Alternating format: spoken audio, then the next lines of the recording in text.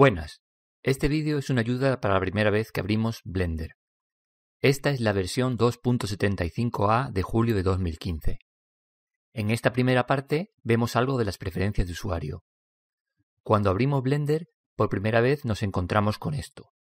La interfaz está construida directamente sobre OpenGL, que es la interfaz abierta de programación para el hardware de gráficos.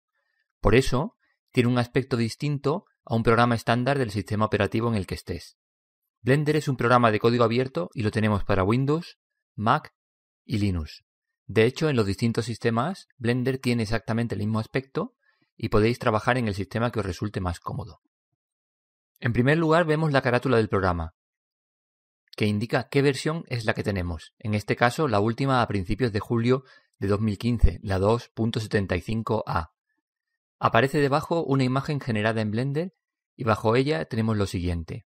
A la izquierda, enlaces a páginas web útiles sobre el programa, manuales, etc.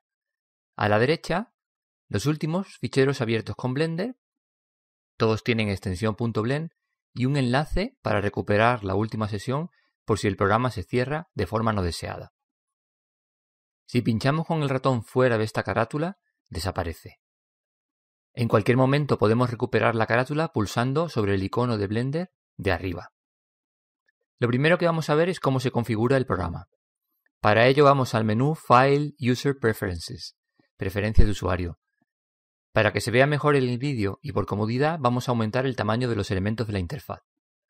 Vamos a la pestaña System y bajo General pinchamos sobre DPI y escribimos por ejemplo 90 y pulsamos Intro. Vemos cómo cambia el tamaño de todos los elementos. Aumentamos un poco de tamaño la ventana de preferencias de usuario tirando del borde en la esquina con el ratón. Botón izquierdo. Desplazo la ventana hacia arriba con la rueda central del ratón o pinchando en la barra de desplazamiento. Abajo a la derecha podemos activar International Fonts, fuentes internacionales, y elegir nuestro idioma, español o español de España. Nos ofrece traducir la interfaz, las tooltips y otras cosas. No os recomiendo traducir la interfaz, menús, botones, etc. En los vídeos veréis todo en su versión en inglés y todas las ayudas trabajan sobre la interfaz en inglés. Quizás os pueda resultar útil traducir las tooltips, que son las ayudas que aparecen al posar el ratón sobre los elementos de la interfaz. No todo está traducido y hay errores, pero si tenéis problema con el inglés puede ser útil. Yo tampoco lo voy a traducir. Hay muchas más cosas configurables que veremos más adelante. Nos vamos por ahora a la pestaña Input para contar lo siguiente. Se recomienda utilizar Blender con un teclado extendido y un ratón de tres botones, donde el central es una rueda. Muchas operaciones se aceleran utilizando el teclado numérico y usando la rueda central del ratón. Se supone que la manera cómoda y rápida de trabajar con Blender es tener la mano izquierda sobre el teclado y la derecha sobre el ratón. Viceversa si eres zurdo. La mayoría de las funciones están accesibles con pulsaciones de una o dos teclas, una vez que se memorizan las tareas más comunes, se trabaja muy rápido.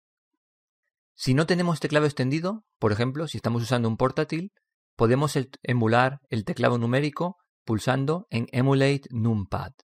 Haciendo esto, la fila de teclas con números que está encima de las letras se comporta como el teclado numérico. Por otro lado, si vuestro ratón tiene solo dos botones, podéis pulsar en Emulate Free Button Mouse, emular ratón de tres botones, y entonces la tecla Alt más el botón izquierdo se comporta como el botón central.